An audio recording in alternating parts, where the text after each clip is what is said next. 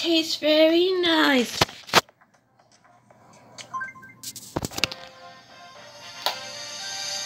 Das Datum der Erstausstrahlung dieser Mi-Nachrichten war der 5. Oktober 2020. Heute wurde ein neuer Weltrekord aufgestellt. Eine runde Schere Steinpapier zwischen Boomer und Blaudum. Beide ein Hähnchenschenkel auf dem Spielstand, endete ganze 203 Mal in Folge unentschieden. Es gibt offensichtlich schon Bestrebungen, diesen Rekord zu brechen. Wir haben einige Inselbewohner nach ihrer Meinung gefragt. Ich weigere mich, diese Art von Meldung zu glauben. Ich muss jemandem davon berichten. Danke fürs Zuschauen. Ich bin Kidsboy Kinder. Der 5. Oktober war das Sendedatum dieser Mini-Nachrichten.